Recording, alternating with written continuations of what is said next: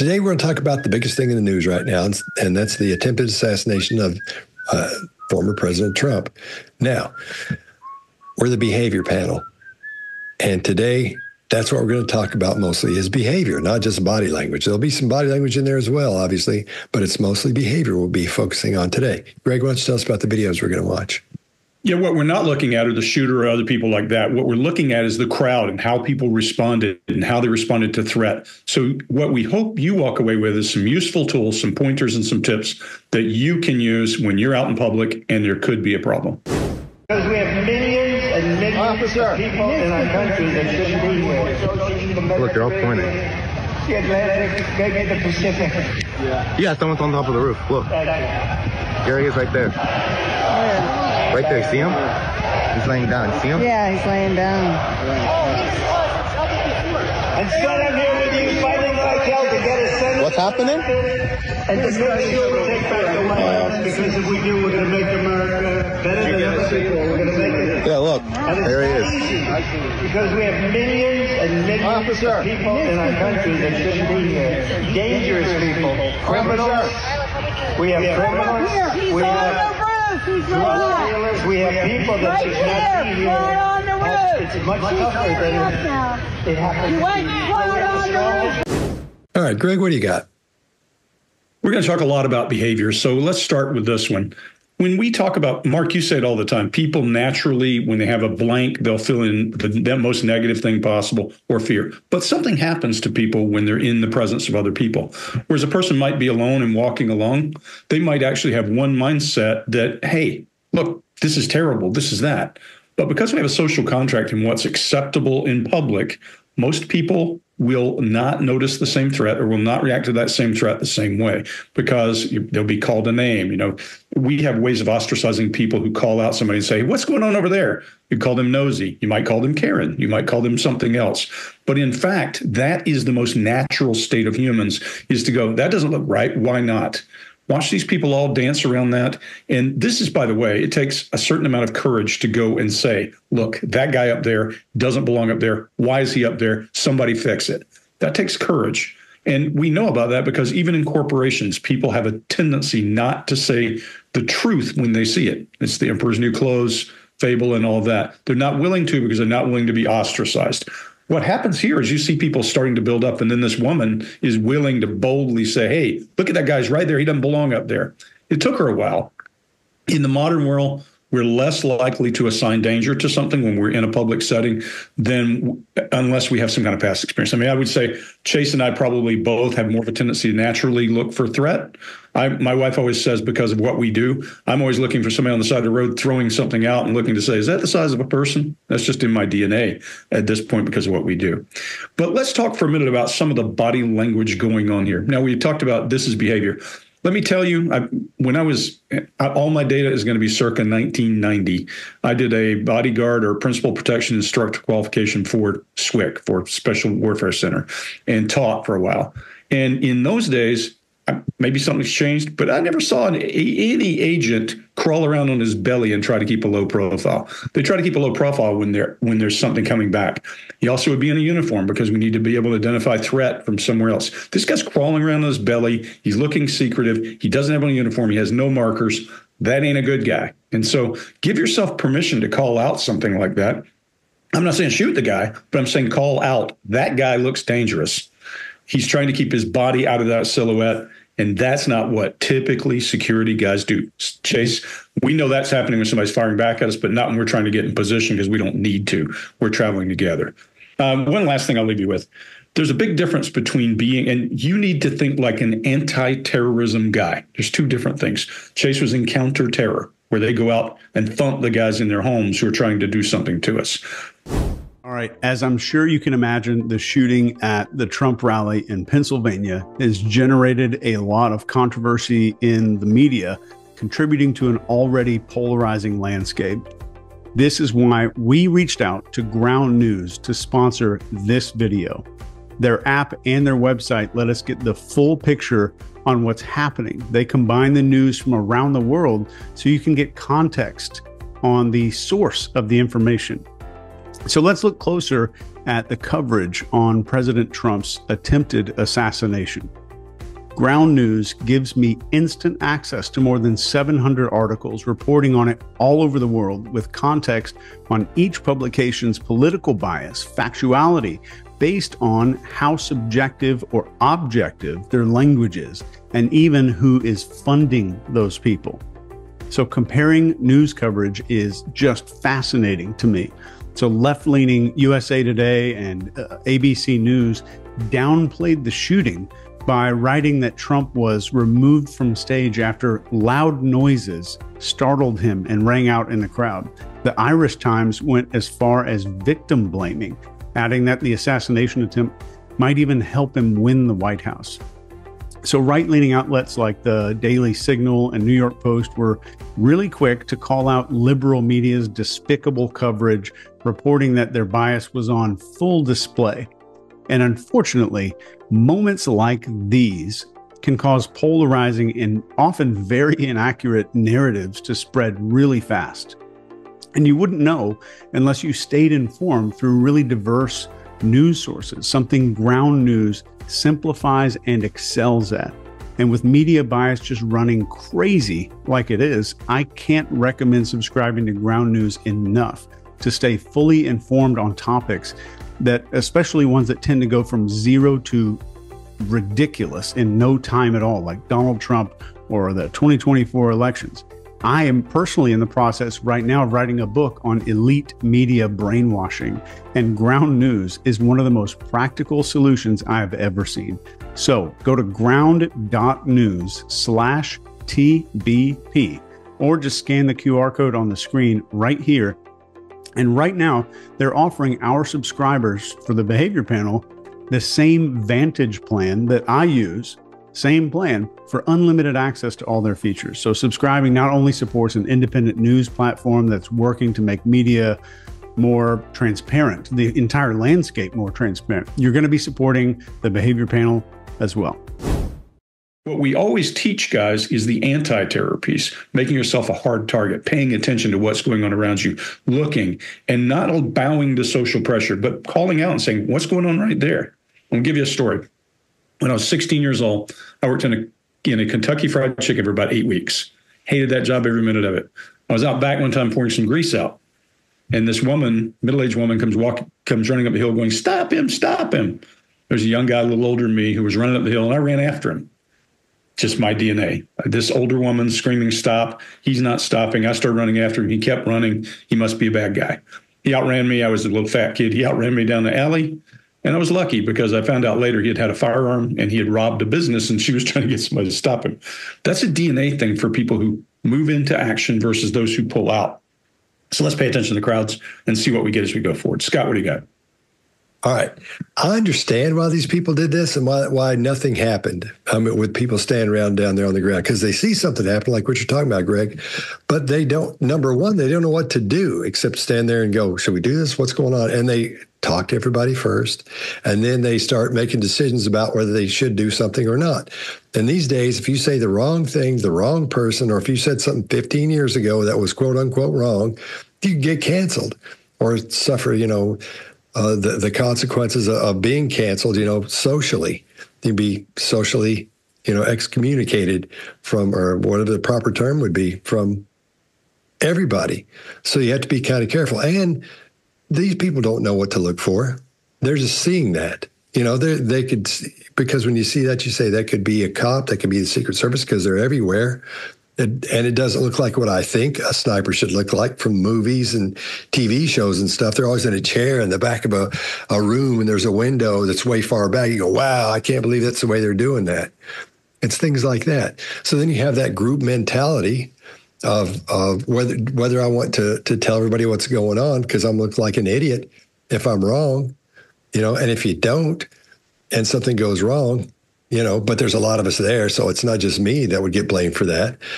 And there's a thing, there's a term called pluralistic ignorance.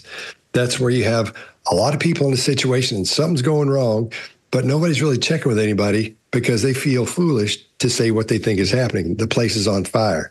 For example, there was a place called a situation called the Happy Land Fire that was in the that happened in the Bronx back I think in the 90s. And 87 people burned up in this in this building in like a private club because Um, this guy was mad at his girlfriend who worked there, and he set it on fire with gas and stuff, you know, up and torched it. And the people in there, nobody was saying a whole lot, because they felt foolish to say something. So that, and it's also called the bystander effect when that happens. And, all these people die because nobody said, "Hey, man, everything's the, the place is on fire." One time, I was going to Greg's, and I was as I was driving uh, to his place, I saw a bunch of smoke, you know, up the road as I was coming toward. I said, oh, "I better."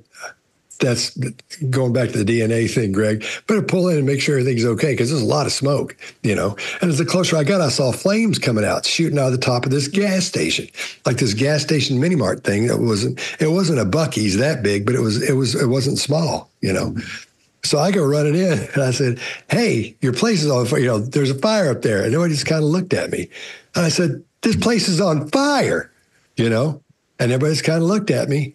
And I said, Hey, man, your place is on fire. Everybody in here needs to get out. And finally, he was like, Well, okay. And they started gathering people up. Oh, it blew my mind that nobody went, Oh, no, we need to get out of here. They were all just standing around looking at me like I was crazy, you know, which is the nightmare these people have when they want to say, Oh, there's a shooter up there. The guy's got a gun. Or should he be up there? So I, I get it. I've seen I've seen in person people doing that. So, but but still, it it's I get what they're doing. I understand why we all do. We all understand what happened, but it's it's understandable, especially due to the things that are happening today in in society. Uh, Mark, what do you got? Yeah, so in the UK, where I used to live, uh, terrorism has been a long, long history. Uh, personally, I've been blown up a couple of times. I don't advise anybody to be part of that. It's particularly uh, nasty. So we have something in the UK, a phrase which is if you see something, say something. And you'll hear that on the London Underground constantly. If you see something, say something. There's a lovely voice of a, a lovely lady in dulcet tones telling you this. Now, why is this uh, important? Because just as everybody has said so far, and I'm sure Chase will reiterate as well, there's this social contagion that has to happen for people to get up the courage to go, you know what? I don't think this is right.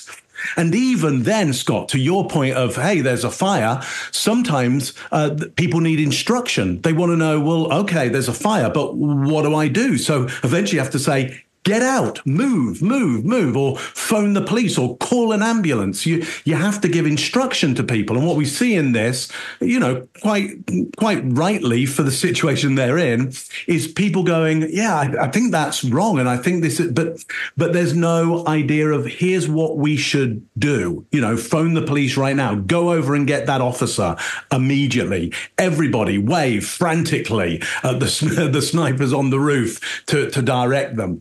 So, and, and why would they? Why would they know how to do that? You know, the best the UK has is if you see something, say something. So to so to counteract that hmm. sense of I will be punished in some way if I step out of line and I just don't keep on walking.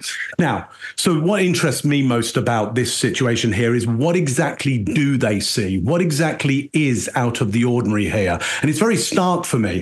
If you look at everybody else uh, other than the person on the roof. Everybody else is down low. They're low, they're on the ground and they're all standing upright.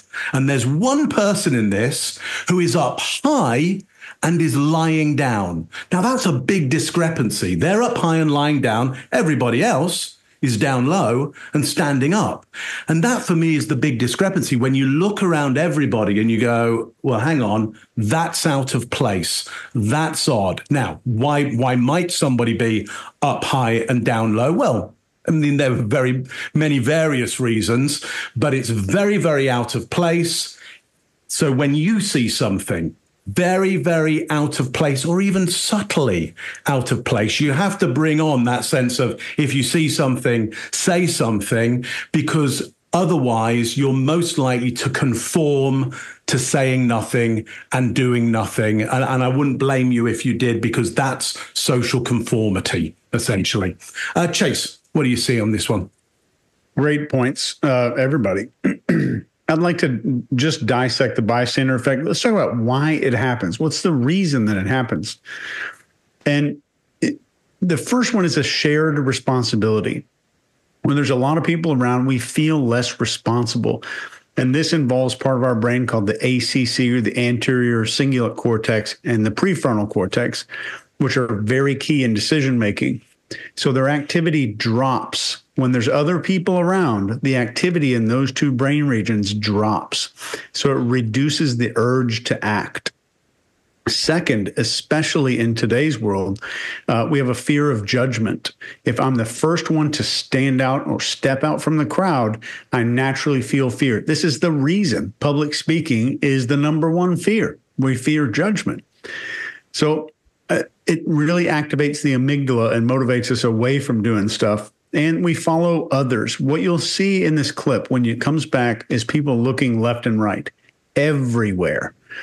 And this is what I call herd checking. I've, I've, been on nine deployments. I've seen lots of crazy stuff going on.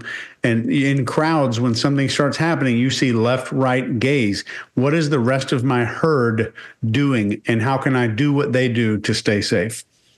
You'll see this in, in groups of deer. You'll see it in turkeys. You'll see it in all kinds of animals, including us.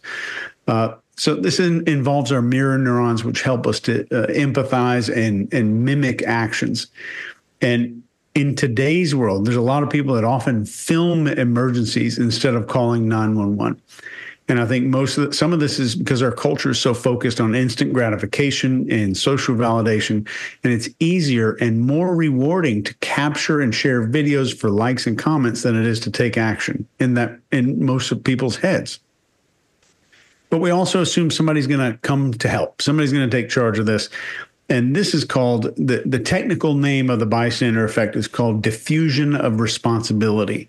So our smartphones make filming so simple and experiencing life through screens has created a psychological distance and this uh, allure of capturing some viral moment can almost be irresistible all that's piling up, and we're faced with an emergency. The bystander effect kicks in due to the ACC and PFC. That reduces our responsibility.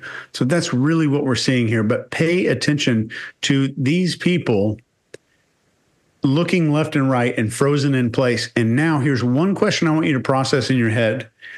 If they ask those people before the event, do you know what to do if shots ring out? Or would you instantly know how to take action if an emergency happened?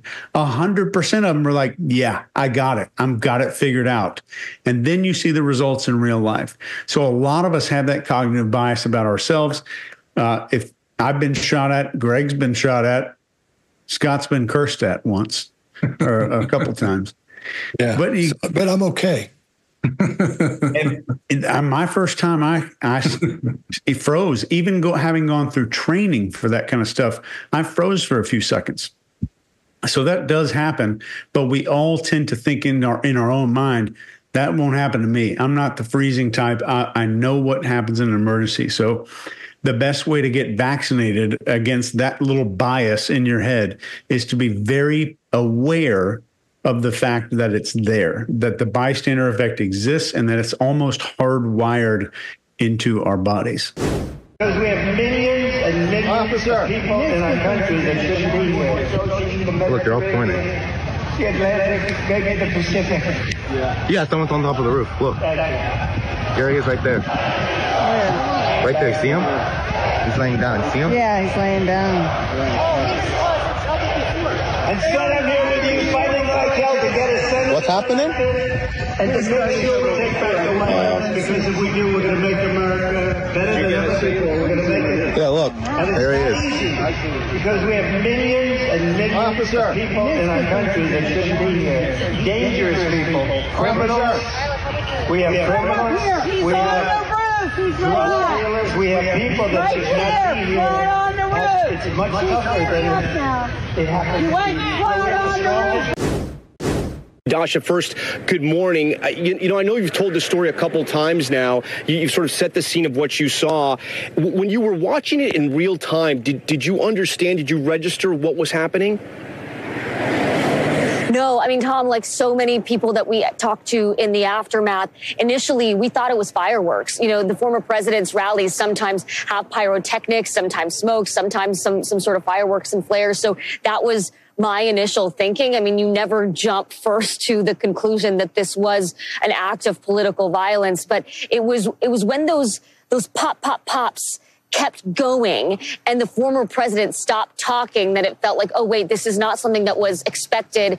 This could potentially be dangerous. So it, it went from a sort of initial uh, confusion and chaos to a bit of adrenaline and fear starting to settle in. My producer Bianca and I were just coming off of the press risers, walking down the stairs when those initial sounds that are now sort of keep echoing through my mind uh, went off, and we took cover behind some stage equipment, big boxes of stage equipment once we realized this could be something dangerous. Although, Tom, I'll tell you, even as I was taking cover, I was thinking this is just a precaution. We're just doing this to be safe. We're going to come up and realize it was uh, fireworks or some, some, something not what we ultimately uh, realized was was the reality of, of political yeah. violence here. Um, and, Josh, I want you to explain to our viewers, to if you can, yeah, I want you to explain to our viewers, if you can, just how close. All right, Chase, what do you got? So these initial sounds were mistaken for fireworks. This is a very common occurrence at events, uh, showing uh, us, all of us, how people often misinterpret unfamiliar situations based on context. Our brains use past experiences to make shortcuts and our brains are good at making shortcuts and shortcuts help us. That's the reason we tie our shoes we can drive and all that. So our brain makes these shortcuts to recognize something from our past or something we've seen on tv when you look at the clips from the people who could see the shooter the people who looked at him on the roof you'll notice they reacted to the shooting much faster because their brains had a new context to filter information through and you also see a few of the people I would bet good money are combat vets in that crowd. And I would say there's a few reasons why you can pick them out in a crowd. Number one is a conditioned response. They know that sound. And I think any combat veteran you will ever talk to knows the difference between a firework and a gun instantaneously. So it's a conditioned response, especially if you've been shot at. And second is experience and muscle memory. Our body kind of goes through all of that. Then we have heightened situational awareness, which comes with all of that. And the vets, uh, especially combat vets, have a lower threshold for threat detection. There's a lower threshold for that and there's a stress response calibration there. So combat veterans in the crowd reacted almost immediately to gunfire because their training and experience have conditioned them to do that. And they're used to recognizing that distinct sound very quickly. And their brains are, are primed to detect threats faster with a lower threshold for recognizing danger. And veterans uh, or or people who are on active duty manage their stress responses effectively in these kind of situations and allows them to stay more composed than most people. And I think this combination makes you instantly able to identify. I, I clicked play on here this morning and just watched the clip and I could spot, I could hit pause right there and count all those little dots and say that that dude's been shot at, that guy's been in the Middle East or combat. And I think the initial misrepresentation of the gunfire uh, is very understandable for a lot of people. And those vets instantly, I think, knew what it was. Because when you hear that, then you can hear something whip through the air, and then you hear a thud or an impact somewhere else, right in, in quick succession. Uh, every veteran has heard that. Every combat vet's heard that. Uh, and that's what you can see in this clip here. Uh, Greg, what do you got? Yeah, a couple of things. I think the most important one that we both know is by the time you hear it, it's too late. the rounds are already there by the time you hear it. That's just the nature that's, of what we that's do. That's also the when you say what's the difference in a banjo and a hand grenade. If you hear either one of them, it's too late. That's funny. So one of the things is that the other problem with sound, the other problem with the sound is if you've been around farms and you've only shot, you've never been in a place where rounds are moving, you've never heard it from a distance. You've heard up close and they're loud. Most people would think an AR is loud because they've fired it. They've never heard it firing around them, um, or they've been in a range. But when you've been around them, you can pick out an AK from an AR. Chase, I know you can. You pick that sound out. There's very specifically those different sounds. And the primary thing about all of that is your brain needs a box to put data in. If you've only heard it up close or you've only heard it in the movies, you've only heard, you don't have a box to say, "Oh, that's this." And if you have in your head those fireworks from past places, you've assigned all kinds of information. So we're talking about a woman here who articulates thought for a living. That's what she does. She collects experiences, turns those into a story, and passes it on. And where she has a verbal image of anything she's dealing with, she loses that here. We always tell you residual emotion is powerful. Look at all that blinking, that adapting, moving, and swallowing that residual emotion, and even down to an um. Here's a reporter saying um. That's not typical of a reporter. So all that residual emotion is affecting her.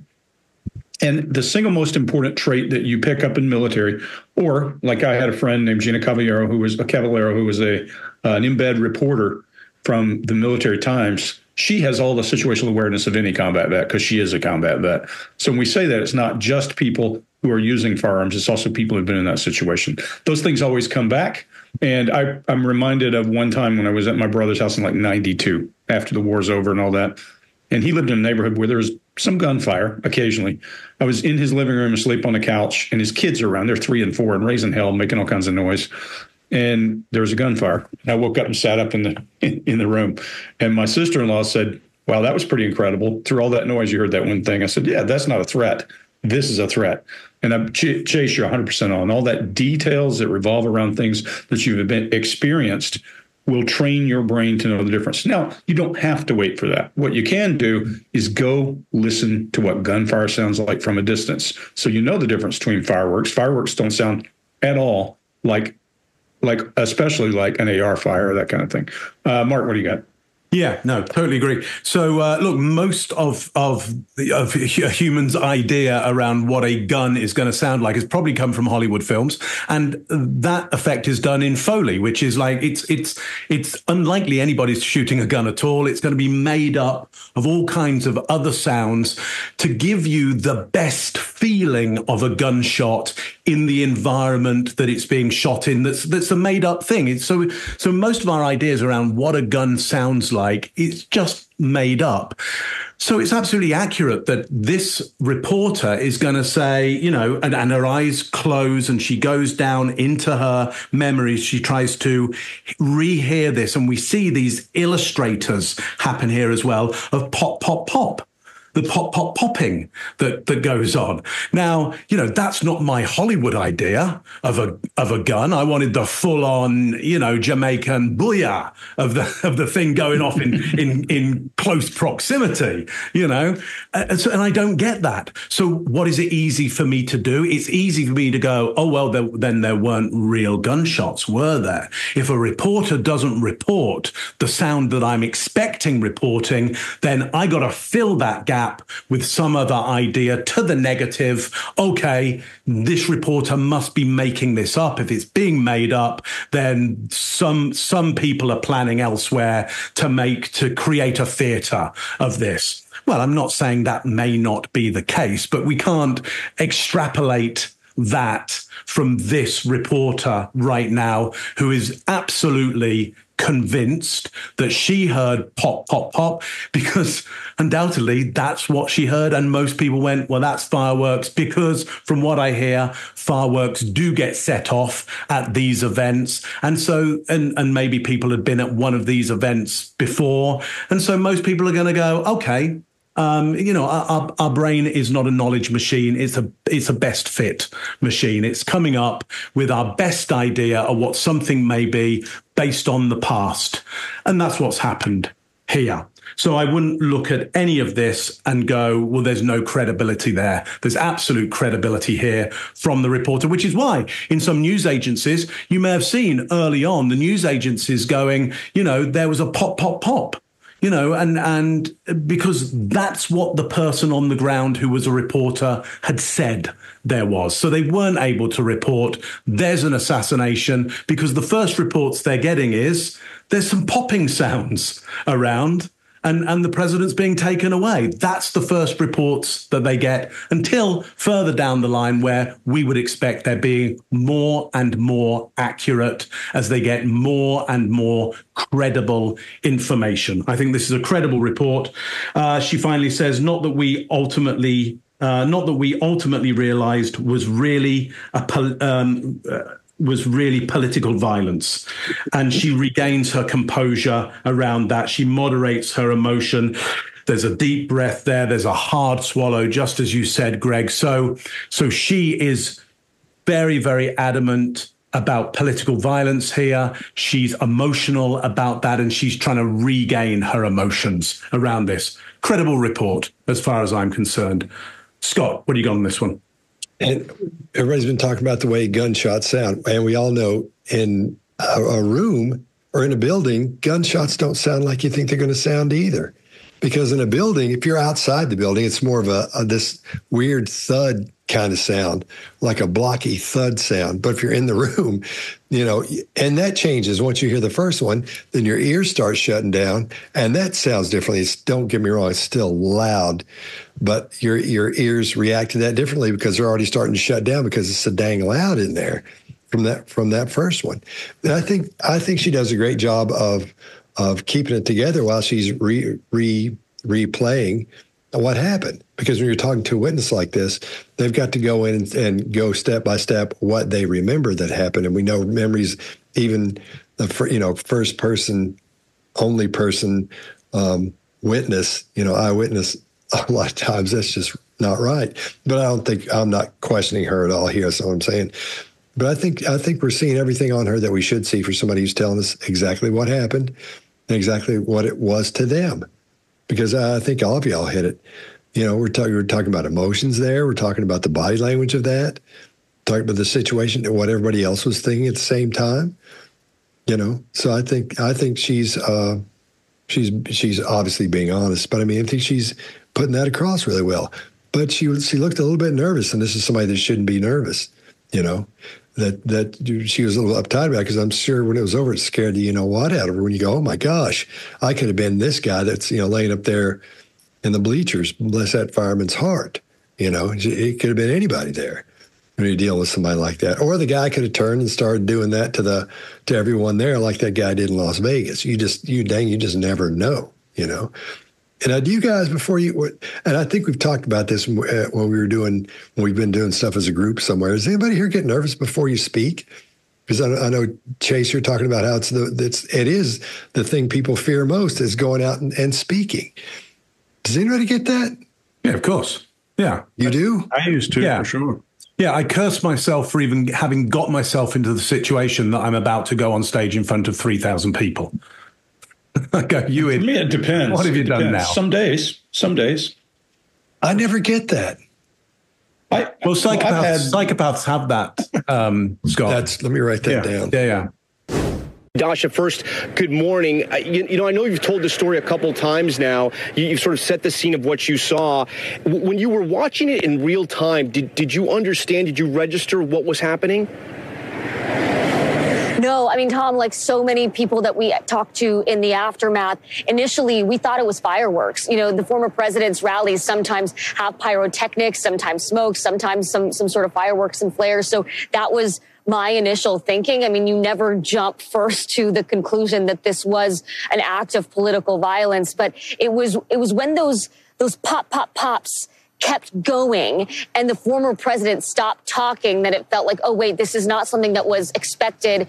This could potentially be dangerous. So it, it went from a sort of initial uh, confusion and chaos to a bit of adrenaline and fear starting to settle in. My producer Bianca and I were just coming off of the press risers, walking down the stairs when those initial sounds that are now sort of keep echoing through my mind uh, went off, and we took cover behind some stage equipment, big boxes of stage equipment once we realized this could be something dangerous. Although, Tom, I'll tell you, even as I was taking cover, I was thinking this is just a precaution. We're just doing this to be safe. We're going to come up and realize it was uh, fireworks or some, some, something not what we ultimately uh, realized was was the reality of, of political yeah. violence here. Um, and, Josh, I want you to explain to our viewers, to if you can. Yeah, I want you to explain to our viewers, if you can, just how close. And that's the point where they're like, I don't know this material. I'm going to get found out. I got I got nervous one time when these I was talking to, and this is the same place I accidentally dropped the f bomb the, the second time I was there. when I was the first time I was there, there was a this table full of women because it was one of those hotels where everybody's sitting at the table and you go, ah, here's you know, you know, talk. And every time I'd walk close to this table, these women would start frowning at me and they'd look disgusted and all that, you know. And so, and then I'd walk away and I'd check the table and they would they would settle down a little bit. And the closer I got to them over there, the more they get all worked up. So when it was over, you know how you, say anybody got questions, that kind of thing, you know. So if anybody got questions, I got a few minutes to answer some questions. Every table, every hand at the table goes up. So I go over there. And I said, "Ma'am, do you have a question?" She goes like this. She goes, "We know about the commode." I said, "What?" She said, "We know about the commode." I don't know what happened to the commode there, or somebody did something to commode. It wasn't me. I still don't know. Never found out. I want to bring in Leonard Verdetto, who was at the Trump rally yesterday when the attempted assassination happened. Leonard, thank you so much for joining us. I'm glad that you are okay. Uh, and just talk to me a little bit about what happened yesterday. You say you were in the stands near the Jumbotron. Can you tell me what you saw and heard?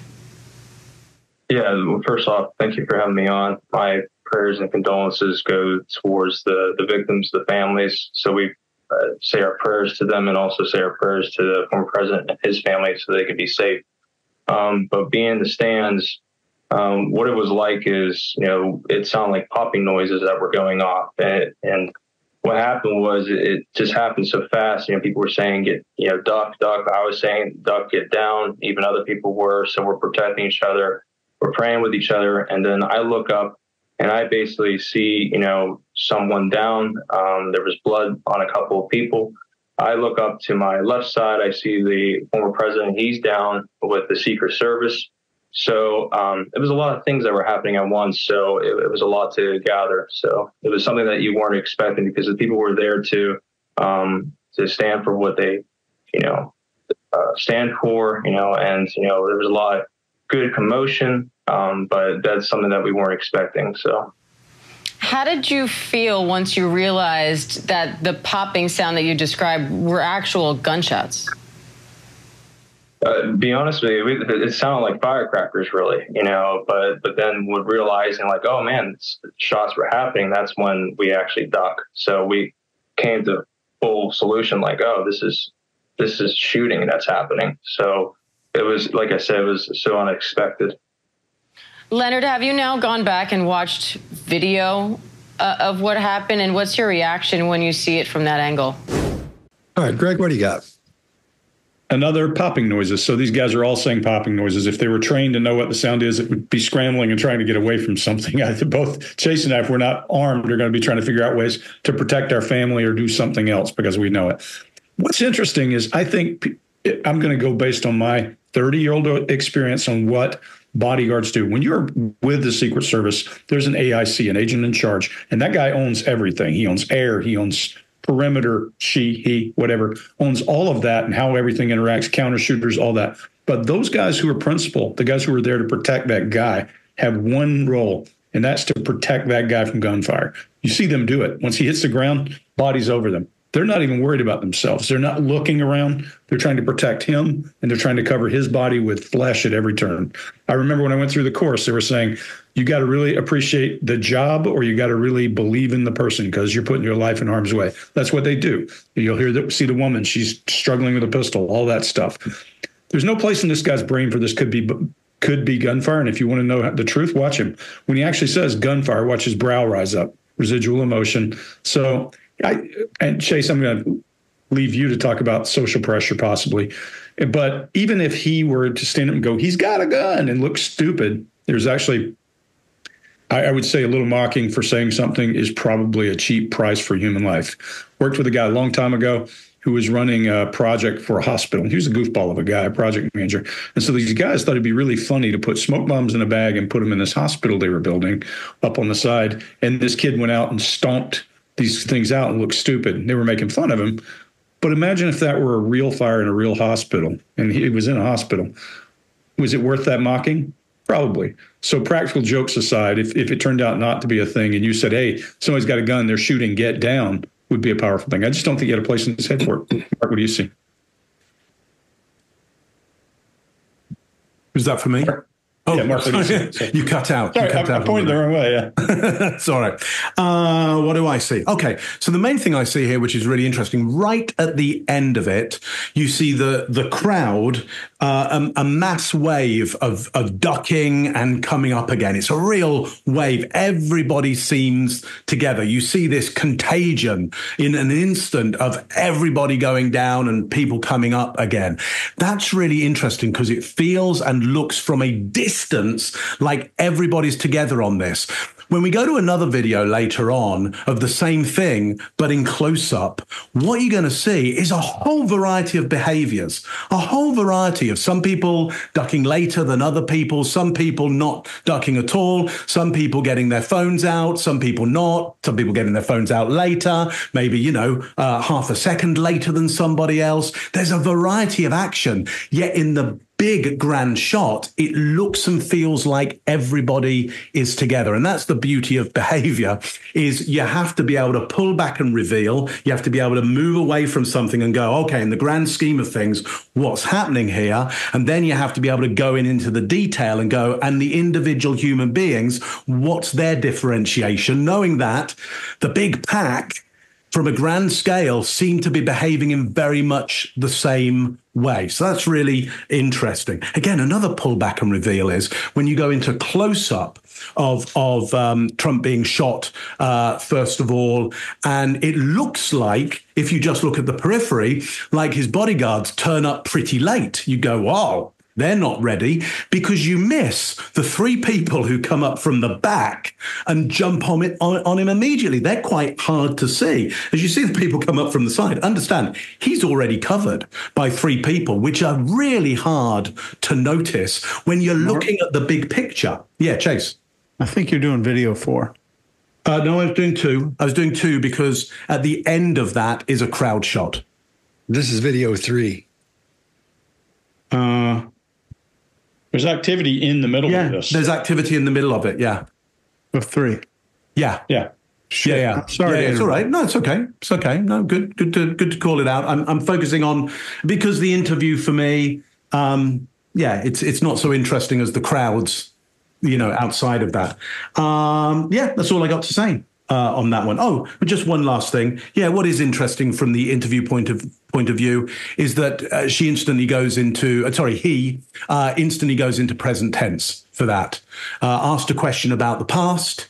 He goes straight into this, uh, that, that reliving that moment. It's a very bland, um, unpoetic uh, interview and description. But what is interesting is the present tense that's gone into there. Scott, what you got on this one? I think the amazing part of this one is that uh, quite often when someone is presented in a situation like this, they'll drop into a coma after listening to somebody talk like this for about two minutes. It, I don't know if it's, it takes me able to touch on the hypnotizing thing or whatever, but this kind of thing, I didn't get halfway through it either. That's why I thought he was on the wrong video too. I just couldn't take it. I couldn't listen to him anymore. I apologize, but I, I just I, I, I couldn't do it. You know, because I was sitting there, I was going, I was about to fall over. Is this cat's hypnotizing me, man. But uh, yeah, so and I've got stuff I'll talk about the, the crowd in the next one. Chase, what do you got? I don't have anything. Let's keep going. bring in Leonard Verdetto, who was at the Trump rally yesterday when the attempted assassination happened. Leonard, thank you so much for joining us. I'm glad that you are okay. Uh, and just talk to me a little bit about what happened yesterday. You say you were in the stands near the Jumbotron. Can you tell me what you saw and heard? Yeah, well, first off, thank you for having me on. My prayers and condolences go towards the, the victims, the families. So we uh, say our prayers to them and also say our prayers to the former president and his family so they could be safe. Um, but being in the stands, um, what it was like is, you know, it sounded like popping noises that were going off. And, and what happened was it, just happened so fast. You know, people were saying, get, you know, duck, duck. I was saying, duck, get down. Even other people were. So we're protecting each other. We're praying with each other. And then I look up and I basically see, you know, someone down. Um, there was blood on a couple of people. I look up to my left side. I see the former president. He's down with the Secret Service. So um, it was a lot of things that were happening at once. So it, it, was a lot to gather. So it was something that you weren't expecting because the people were there to um, to stand for what they, you know, uh, stand for. You know, and you know there was a lot good commotion, um, but that's something that we weren't expecting. So. How did you feel once you realized that the popping sound that you described were actual gunshots? Uh, be honest with you, it sounded like firecrackers, really, you know. But but then would realizing like, oh man, shots were happening. That's when we actually duck. So we came to full solution, like, oh, this is this is shooting that's happening. So it was like I said, it was so unexpected. Leonard, have you now gone back and watched video uh, of what happened, and what's your reaction when you see it from that angle?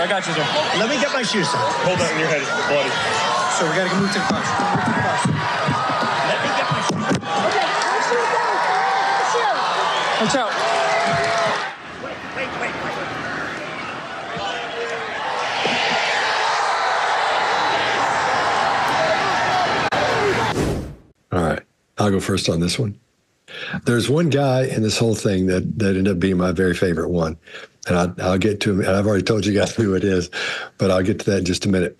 But this thing breaks down for me. as three examples of, of what we're seeing here. Three types of reactions we're seeing here. We're seeing the that immediate reaction when the noise, the obviously when the noise starts, when the when the gunshots start, people automatically duck down like that. They don't know what it is. They don't think gunshot or anything. That's just what you do as, as an animal. And something loud happens, that's the first thing you do, especially in a, in a group like that, right? And the second one is the, the delayed reaction where the gunshots happen and people sit there for a minute and then they slowly get down and start because they're copying everyone else. They're copying, you know, the group or what mimicking the group or whatever. Then you have the casual observer, which gets my favorite one I don't know what else to call him, but this hobo hillbilly looking guy, or, or I don't know, he's wearing all black, has the hat on. This the is the hippie hobo or whatever. This guy, man, either he's like he's just a dang gangster, right? Or he's just not very smart because he just stands there looking around the whole time, which a lot of people do. They become the observer of the situation, no matter how horrible it is. And one of the main things you see, I think, when people start ducking down, like you guys were saying, man, you can spot the guys who, who are in the military or have been in there because they get down quick and their heads are forward, but they get down quick and they're looking around, especially with that, that fireman that, that got killed. You know, he hears it. First thing he does is jump on his family. You know, thank God he did. You know, so they didn't get tagged, but he did. You know, so I, I think it's it's a it's a great example of, of that to see every not everything that can happen, but but the diff, the various situations that happen when something is uh, introduced into a situation with a lot of people like that, and they're all fans of, uh, of Trump. You know, they're all into it. You know, and I think, and we're going to talk about the the phones coming out here in a few minutes, but some people that had, I think, I won't touch that since I know you guys are going to get into it. But um, I, I thought that was fascinating. The, the, those three examples uh, of the, the reactions of people. Uh, Chase, what do you got? Super uh, horrifying thing to watch, and just an epic time in history. And it it really shows how just the power of that crowd uh, when he stood up was incredible to watch. Just as a crowd had having no idea whether someone had just died in front of their eyes, the, the, the potential future president died in front of their eyes, and watching them come back from that was just amazing. Uh, no matter what side of the aisle it was on, it's it's uh, great to watch. And I just thought it was interesting watching the body language of the people there. And uh, I only saw one anomaly. And it was just the only person, there was only one person I could spot that displayed, uh, maybe two. And Scott, to your point, the guy that you were talking about, I think there's one more explanation that what I maybe would call, just for YouTube purposes, the Cheech and Chong effect uh, might be at play right there. Yeah, that's true. And uh, there's only one person that had their phone at the ready, uh, which seemed like they didn't even need to hit the record button and have it ready to go. Showed zero fear response. The shoulders didn't move, facial muscles didn't move into fear, and there was no crowd checking, as well as 41 other indicators for this one person. Uh, that so much I'm making a video about it on my channel this week uh, with a couple other experts, but uh, I'll I'll leave you to figure out who that was. Uh, Greg, what do you got? So we're going to go back to the thing I said earlier. It's in your DNA to do certain things. This guy that we were talking about, this fireman, I'm going to try to pronounce his name correctly, but I think it's Corey uh. And he did what a lot of people in those businesses are going to do. A guy who has made his whole life protecting others, protected his family with his own life. Meanwhile, these other people are trying to protect, back to what I told you earlier, they're human blanketing Trump, protecting him, these Secret Service agents. And you may assign blame to the woman for not being able to hit her holster. So what? So what? She's not going to engage a target if she drops Explain her that real quick because they, they won't know. Yeah. I, well, here's the thing when you're doing that role, your job is you're not rolling around looking for a shot. You're protecting. Watch where their faces are. They're protecting. They're looking for gaps in their protection of, of Trump so that they can, no one can get a bullet to him. Every if you notice, everywhere there's an opening, they're putting a limb or something between them.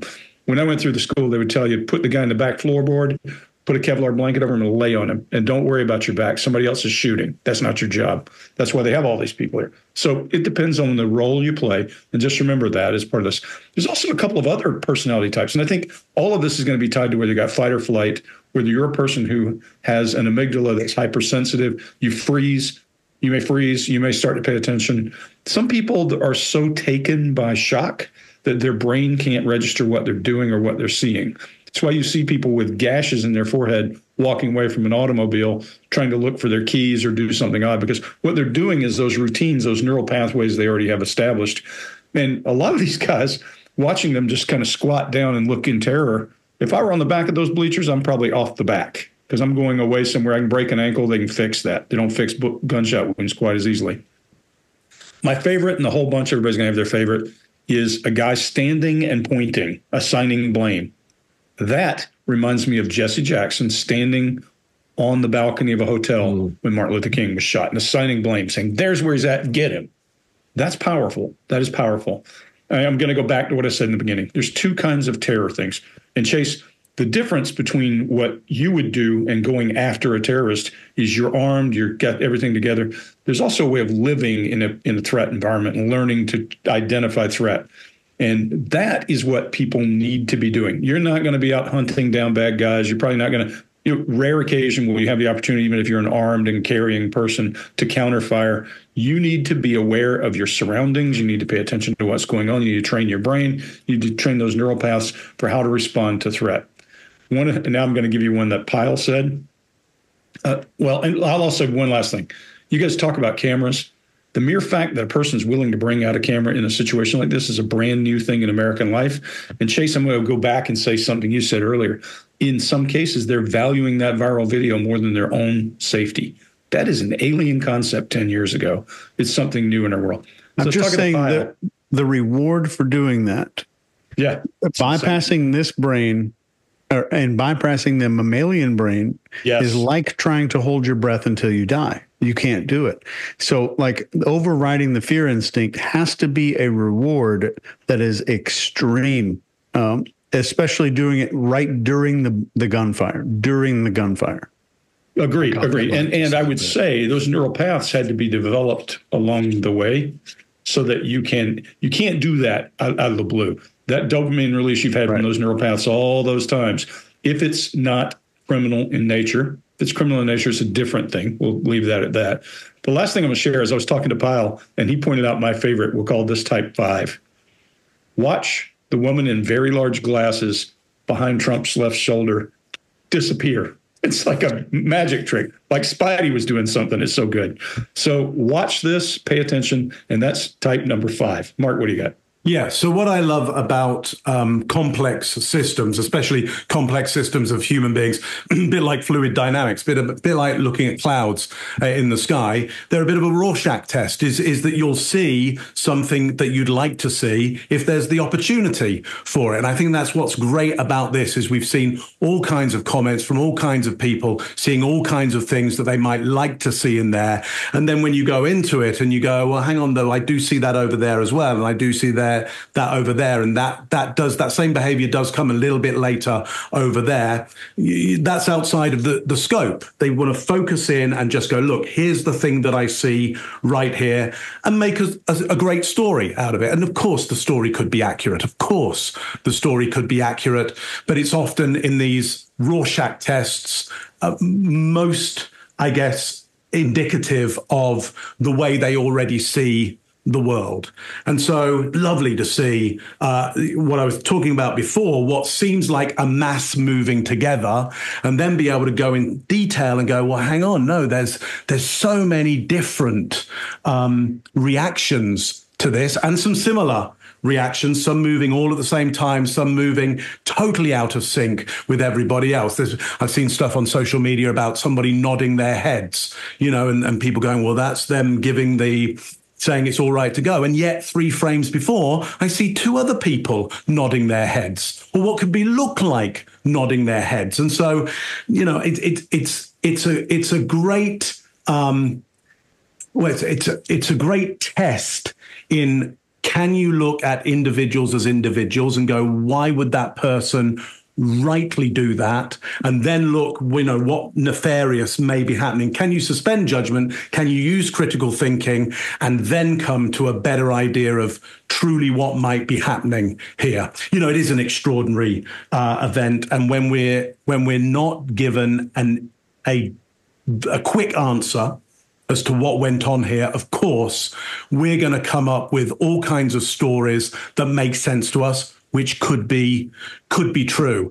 Um, you know, I remember looking at that fantastic mm-hmm. image that Evan Vucci took. You know, which has that perfect um, uh, Mount. I think it's Su Su Suribachi the the flag at the angle in the background, and you go and and and and Trump pumping the fist, and you go, but that is so perfect. It's so brilliant that yes. has to be made up. You can't put, but no, it's just somebody was there with the right equipment at the right time and got lucky and has taken one of the most brilliant photographs ever. And if you know what it emulates, what he managed to capture, you go, but he, that must be a setup. And it's not. It's not a setup. It's just how life is. Life is chaotic. And sometimes in that chaos, something hits just right or just off which which is like oh my god it missed just and we want to come up with reasons for you know because things can't be that perfect or that chaotic and unfortunately uh, in my view they can so um, you know, it's it's it's just as just as chancy that Trump didn't get hit as he got hit. It's just as chancy that we see people do all kinds of behaviors that that could be just unnefarious, ordinary behaviors for people in this chance situation, which we hope they would never get to see again. And that out of that comes the most perfect image, the most brilliant moment of art that probably Evan Vucci is just going, you know, who knew that that was going to happen to me? That I would get the most perfect photograph uh, of that. Uh, extraordinary. Extraordinary. You know who else was a victim of the Rorschach test? Was the people in the field who randomly saw a guy crawling up a building and thought that might be a big deal, and Yeah. they were and they were right. They were right. And that's the beauty of life, isn't it? You make judgments, and sometimes you're completely wrong, and sometimes you're completely right. it's like, you know, who can, if only you could know beforehand that you're either going to be completely right or completely wrong. But history plays out, and you you find out in the Well, for most of these episodes, I just call the psychic hotline. Yeah, yeah, yeah, yeah. And I've and listen and thank you for your money. It's been uh, it's been a great it's been a great business, and you've been our main customer, and and we will be sending you a gift. Uh, very Scott, gift. Scott's dog psychic hotline. So that's why I want to. That's what I'm have Hattie on today. I want to talk about my new psychic dog channel, where we've all decided we're going to be dog psychics, and we want to have.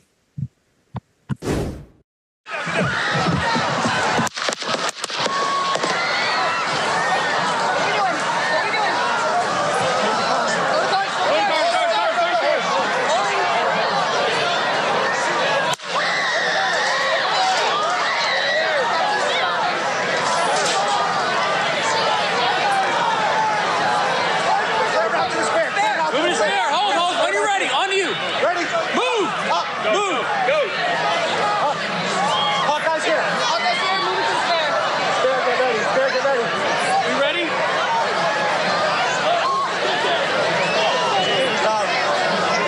Are we good? Shooters down. Are we good to move? We're clear. Let's move. Let's move. We're clear.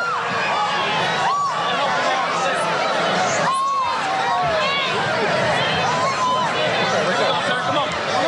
Let me get. Let me get my shoes. I got you, sir. I got you, sir. Let me get my shoes. Sir. Hold on, your head is bloody. So we gotta move to the bus. Move to the bus. Let me get my shoes. Okay, watch out. Wait, wait, wait, wait.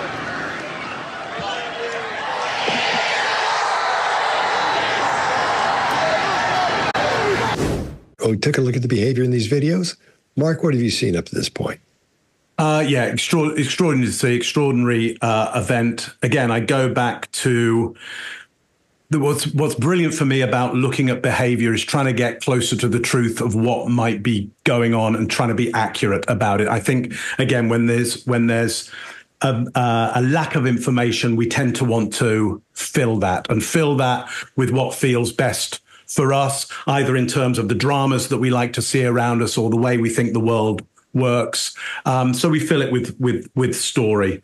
Um, I will say, uh, you know, if you want to, I, I like a conspiracy theory as, as much as the next man. And if you do want to look up at the top of the bleachers, there is somebody wearing an Ultra t-shirt. You'll all know what I'm talking about. Thomas Matthew Crooks is an anagram for hotshot scam workmate. Mate, hotshot scam workmate. Now, I haven't put that into three words, but my guess is if I put that into three words, it'll come up with a location that is very, very important in you know the new world order of things. Investigate that for yourselves. Uh, but that's the way I like to see the clouds and the Rorschach test. Chase, what do you got on this one? If somebody goes to that location, Mark, and there's an obelisk, there, will you agree now to fly there with me and do an episode? Absolutely, absolutely. But, Okay. but but you know you can name locations, so I will go and find an obelisk. Yeah. oh, that's right. So, as you've been watching this video, you might have been wanting us to cover some other stuff that maybe you saw during this. Maybe you saw it on Twitter or X or TikTok or whatever. There's a lot of this stuff that's coming out. There's a lot of interviews coming out. And if something interesting and relevant to uh, people around the world comes out, we'll still cover it. So don't think this is the end of this debate or anything. We're covering what we know to be true. We're covering what we know is factual so far. We're going to keep it up to you. And we try to be we don't try to be accurate, or I don't. I try to be less wrong as less wrong as I possibly can. And we try to do that and we try to do it with it entertaining and informing at the same time. We try to do that for you today. We definitely saw some interesting lessons that could potentially save your life or save somebody's life uh, in a crisis. And I think we could learn a lot from this. And I think there's a lot more to learn on the political side of this uh, as this unfolds over the next few weeks. Greg? Yeah, I think you just hit a key word. You know, what we're trying to do is to give you as much information as possible. And the thing that we, there's a famous, and I can't think of which Stoic philosopher said, if you don't know something, ask. You will look like a fool for once, but you'll have the information for the rest of your life. Anytime that something looks suspicious, it's okay to ask. You might look like a dork. So what? So what? People will forget that. What people will not forget typically is that what you will not forget is that you didn't ask and someone died as a result of it. Get smart. The world's a dangerous place. I say this to people all the time. You need to live in a threat zone. You're not a counter terror guy. You're not a guy who's going to be thumping somebody or using counterfire. But you are living in a dangerous world all around us. And it doesn't have to be political violence. There's violence going on all the time. Social pressure, and the emperor's new clothes make you not pay attention. And you just heard why. I mean, Chase did a great job of telling you in the biology of your brain why your brain is turning off parts. You don't need to know that. What you need to know is that your brain says, hey, I better be careful. I might look stupid. Looking stupid's okay every now and then. Scott, what do you see? I agree with you 100%. And this is, again, a great example of how a group reacts when a situation, when a crisis arises. And we've seen examples pretty much of, of everything from the calm to the ones who know understand what's happening to people who have no earthly idea what's going on. And we're seeing how they react. We're watching the behavior of that in groups. Group behavior is fascinating you know and places like disney have that figured out. When they talk about crowd control and when they uh, control like you know thousands of people coming to one ride what do they do? How do they do that? And uh, I, I think there's a lot of things in this thing can be studied. Everything from the the Secret Service response to the uh, the police response to and the people, of course, in that little crowd back there. That response. And you were talking about uh, philosophers, Greg. There's a guy named Ryan Holiday, and I've read all his books. I think he's awesome. And he has a, a little saying that has become my motto over the past few years. And it's if we hesitate at the moment of crisis, we accomplish nothing and we save no one. So think about that. All right. Thanks another good one, fellas, and see you next time. The behavior panel. Greg, did you hear what you said in there? What, looking stupid every now and then? No, you said Chase just told you how the brain works and how certain things shut off. You don't need to know any of that. to, to do, no, I'm saying you don't have to know it to use it. I know, but I couldn't help but crack up. Sorry if it came off that way, not the way I intended it. Because some people are not going to learn brain function. Oh, I know. The behavior panel. Today, I'm gonna. I'm getting to where I'm prepped for when you say that, and so today I don't think I'm gonna laugh. Right? I don't think so. I thought about it all day yesterday. Why? What doesn't bother me? Why it makes me laugh? I don't know why. Because it's nothing, but it gives me shits and giggles. So I just kept saying it over and over and over in your voice. How does that sound? I don't know. It's in here. I can't get it out. it's, it's a little chase in your head. Everybody, yeah, got, everybody should have a little chase in their head. I told you I've got a Dr. Phil in my head. Did I tell you about that? No. So anyway, people kept saying on my channel, they're going, You're losing weight. Are you okay? You seem like you're losing weight really fast. And I read half of that Dr. Phil book, you know, the seven keys to losing weight or whatever. Let me tell you something, man. I had to quit halfway through because it started, he got up in my head. And then for the past few months, every time I see something that's like, you know, I want to eat like you know, like Reese cups or something like that, you know, or if I want to go to Waffle House, I just hear him, a hand to God, I hear him go, "You really want to eat that?" You really? That's a lot. Come to my house. I'll fix it for you. I told you. Just come here. I, I don't. I don't know, man. I can't. And now I'm I'm just losing weight.